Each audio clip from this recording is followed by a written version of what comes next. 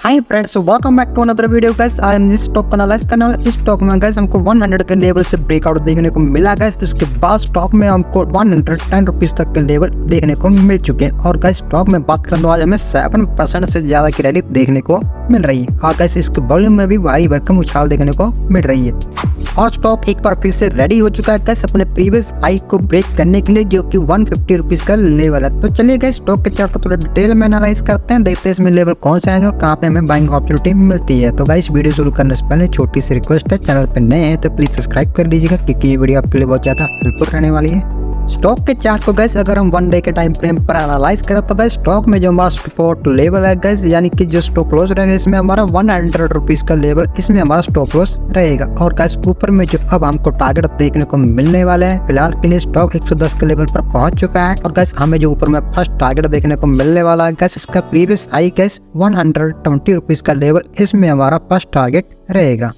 और अगर gas stock 120 के लेवल के ऊपर सस्टेन कर जाता है तो गैस हमें जो टारगेट ऊपर में देखने को मिलने वाला है वन फिफ्टी रुपीज़ का लेवल इसका ऑल टाइम हाई गैस हमारा लास्ट टारगेट रहेगा।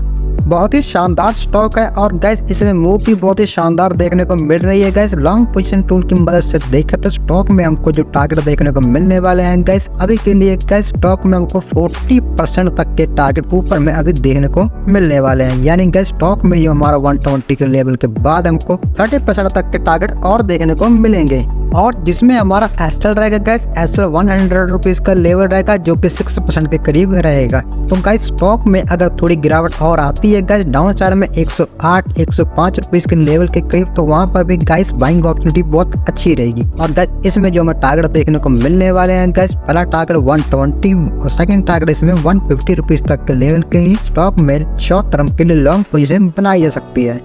तो आज की वीडियो में गाइस बस इतना ही आई हो। आज की हमारी एनालिसिस पसंद आई होगी। गाइस वीडियो पसंद आई हो तो लाइक कीजिएगा शेयर कीजिएगा और रेगुलर अपडेट्स के लिए हमारे चैनल को सब्सक्राइब करना मत भूलिए। Thanks for watching